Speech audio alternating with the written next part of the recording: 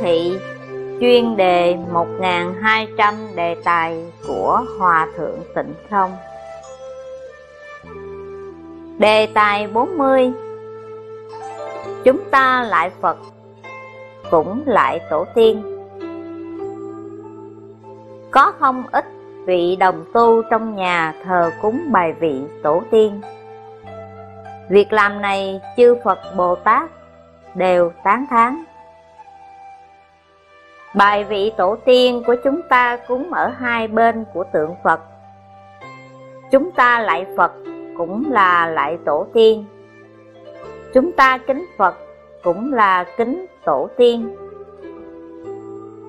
Chúng ta lại Phật cùng ý nghĩa lại tổ tiên là hoàn toàn giống nhau. Ý nghĩa thứ nhất là không quên gốc. Ý nghĩa của sự báo ân. Ý nghĩa thứ hai là vô cùng quan trọng Còn quan trọng hơn so với ý nghĩa trước. Đó là thấy người hiền mà sửa mình. Kỳ thật, Phật không cần chúng ta lại Chúng ta cũng không cần phải lại. Người thế gian hiếu kính đều không còn. Chúng ta ngày ngày bái lại tổ tiên. Là dạy người ta hiếu, Lạy Phật Bồ Tát. Phật Bồ Tát là lão sư, Là dạy người ta kính. Chúng ta ngày ngày ở nơi đó mà cung cung kính kính bái lại. Chẳng phải là vô hình chung giáo hóa chúng sinh, Hiếu kính cha mẹ tôn kính sư trưởng. Chúng ta đang làm cái việc này.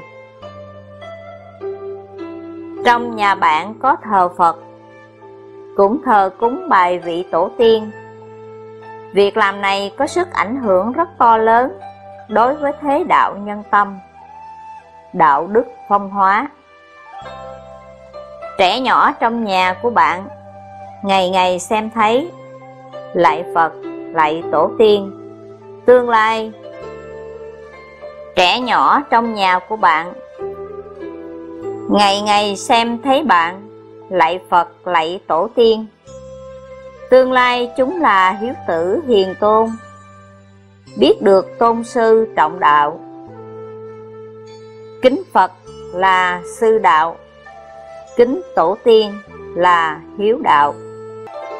Người phương Đông chúng ta lấy hiếu đạo làm nền tảng. Nếu không thờ cúng tổ tiên, vậy thì chúng ta đã quên gốc. Chúng ta thường nói, thận chung truy viễn. Nếu người quên gốc, thì nhân cách làm người đã mất đi rồi. A-di-đà Phật